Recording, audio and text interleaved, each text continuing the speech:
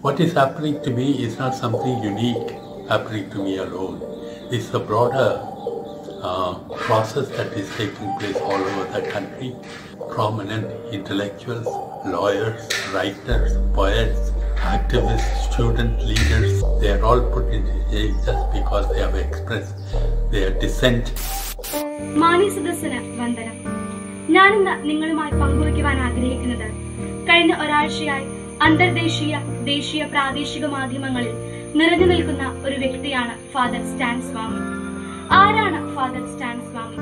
മനുഷ്യാവകാശ പ്രവർത്തകനും സുവിശേഷ മൂല്യങ്ങളുടെ വന്ധ്യ പുരോഹിതനുമായ ഫാദർ സ്റ്റാൻ സ്വാമി തമിഴ്നാട്ടിലെ ഒരു സാധാരണ കർഷക കുടുംബത്തിലാണ് ജനിച്ചത്. അദ്ദേഹം ജസ്യൂട്ട് സന്യാസ സഭയിലെ ഒരു വൈദികനാണ്. ചെറുപ്പം മുതലേ ദാരിദ്ര്യത്തിലും കഷ്ടപ്പാടിലും വളർന്നു വന്ന അദ്ദേഹം സാധാരണക്കാരുടെ ഇടയിലാണ് സേവനമനുഷ്ഠിച്ചത്. കഴിഞ്ഞ അഞ്ച് ദശകങ്ങളായി ആദിവാസികൾക്ക് വേണ്ടി ജീവിക്കുകയും അവർക്ക് വേണ്ടി പ്രവർത്തിക്കുകയും ചെയ്ത ഒരു വ്യക്തിത്വമാണ് ഫാദർ സ്റ്റാൻ സ്വാമി പിന്നീട് ആയിരത്തി തൊള്ളായിരത്തി തൊണ്ണൂറ് മുതലാണ് അദ്ദേഹം ജാർഖണ്ഡിലുള്ള ആദിവാസികൾക്ക് വേണ്ടി പ്രവർത്തിക്കുകയും അവിടുത്തെ ഗോത്ര വിഭാഗക്കാർക്കെതിരെ ശബ്ദമുയർത്തുകയും ചെയ്യുന്നത്.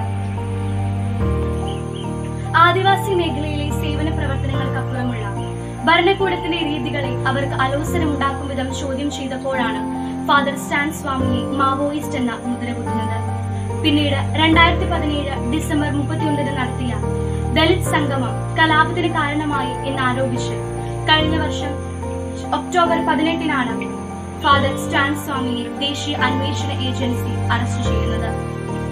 ഈ അനീതികൾ സംഭവിക്കുമ്പോഴെല്ലാം ഒരു മൂകനായ കാഴ്ചക്കാരനെ പോലെ തനിക്ക് ആയിരിക്കാൻ സാധിക്കില്ലെന്നും അതിനെതിരെ എത്രയേറെ വില കൊടുക്കാൻ താൻ തയ്യാറാണെന്നും ഫാദർ സ്റ്റാൻ സ്വാമി അറിയിച്ചു. അധികാരത്തിന്റെ മേൽക്കോന്മയിൽ നിന്ന് ഒരു സാധു സമൂഹത്തിന്റെ അവകാശങ്ങളെ അടിച്ചമർത്തിയ ഒരു സർക്കാർ സംവിധാനം. ഈ അനീതിക്കെതിരെ പ്രതികരിച്ചവരെ ജയിലിലടച്ചു. നിയമത്തിന്റെയോ സ്വാതന്ത്ര്യത്തിന്റെയോ ഒരിറ്റ ആനുകൂല്യം പോലും നൽകാതെ മരണത്തിലേക്ക് നയിക്കപ്പെട്ട ഒരു മഹാവ്യക്തിത്വമാണ് സ്റ്റാൻസ് സ്വാമിയുടേത് കൂട്ടിലടയ്ക്കപ്പെട്ടാലും പക്ഷി പാടും എന്ന സന്ദേശമാണ് ഈ വൈദികൻ സമൂഹത്തിന് നൽകുന്നത്.